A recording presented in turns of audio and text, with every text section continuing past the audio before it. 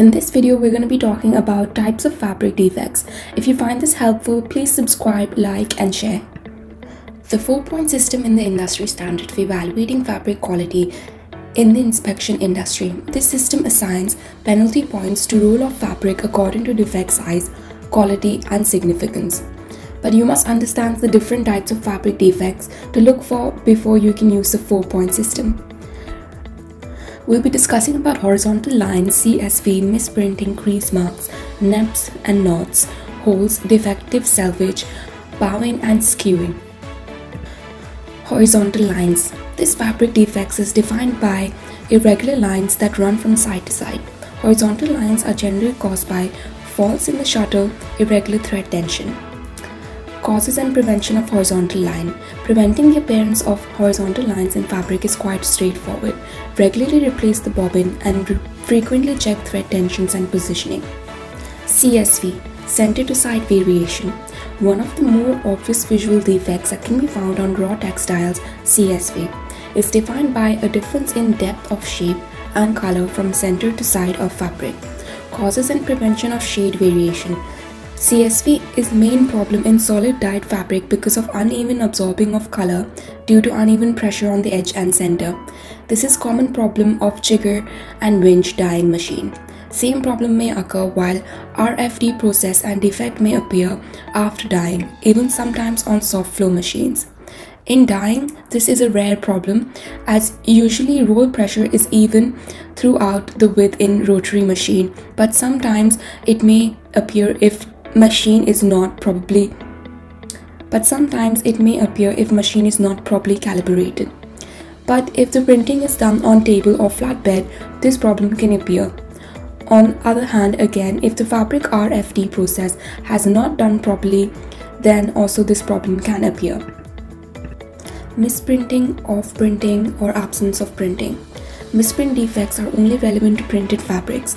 Misprint is when the print of the fabric does not match your specific design. This is usually displayed in one of the following ways. Colors and or patterns are completely particularly missing. Colors and patterns are incorrectly positioned relative to each other. Causes and prevention of misprinting. Misprinting are most often result of wrong dyeing recipe, wrong leveling agent, incorrect dye combination in lots, improper scoring of gray fabric. Implementing uniform dyeing, leveling, and scoring process can help prevent misprinting. If you're sourcing printed fabric, make sure to provide clear specification regarding the color pattern of your printed fabric to your factory.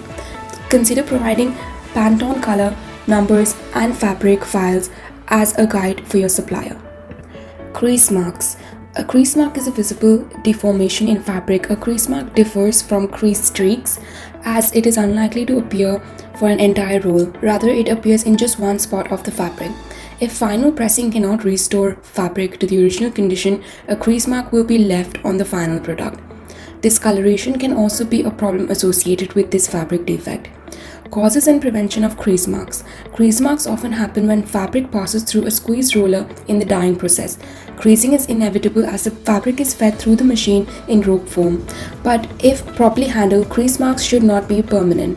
Crease marks can be caused by inadequate preparation, relaxation, or bulking of fabric, poor quality of fabric, a tight construction, high twist yarns, or dense weight, poor suitability of the machine, not moving folds properly, incorrect loading of fabric into machine resulting in twisted or knotted rope, excessively rapid heating or cooling rates.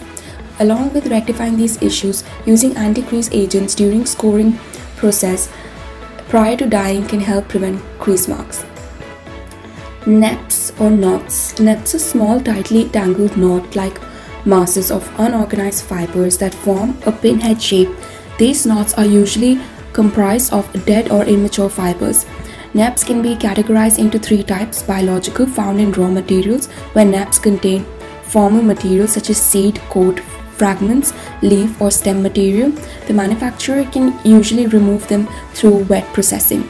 Mechanical, found in skinned lint, cobweb, yarns, and cloth.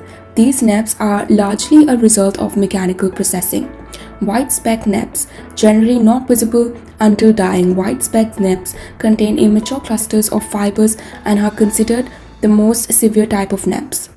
Causes and prevention of NEPs. NEPs are caused when spools of yarn are tied together. This might be the result of accumulation of fly and fluff on machinery, poor lint cleaning, poor carding and incomplete removal of NEPs before processing. To prevent NEPs and knots, ensure proper maintenance and cleaning of machinery and roller clearers. NEPs can be removed through combing before processing, so early detection of NEPs is critical to prevent NEPs in finished fabrics. A hole is an imperfection where one or more yarns are damaged to create an opening in the fabric.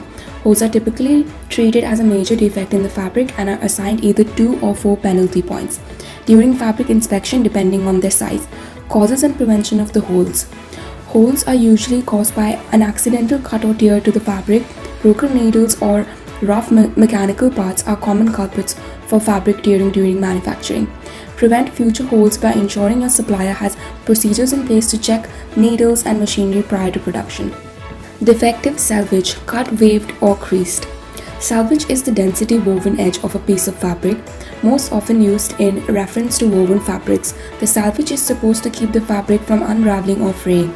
Selvage can be defective in a number of ways, including cut, waved, or creased.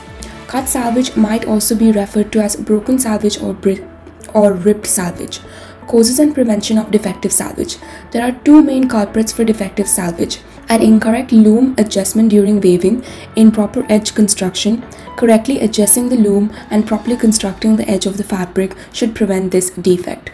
Bowing and skewing. Bowing is a condition in woven textiles where filling yarns are displaced from a line perpendicular to the selvages and lie in an arc across the width of the fabric.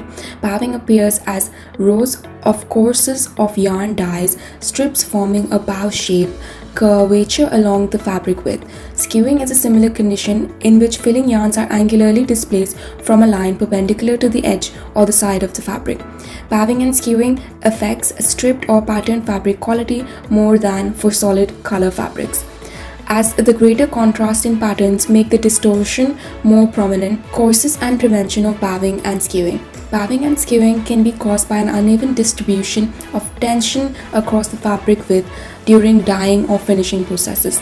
Improper stretching during scoring, dyeing or finishing might also cause bowing or skewing. Correcting the tension settings on processing machines should be rectifying these defects. You can also ask your supplier to fix bowing and skewing during the fabric inspection by reprocessing the fabric through a compact or straightening machine.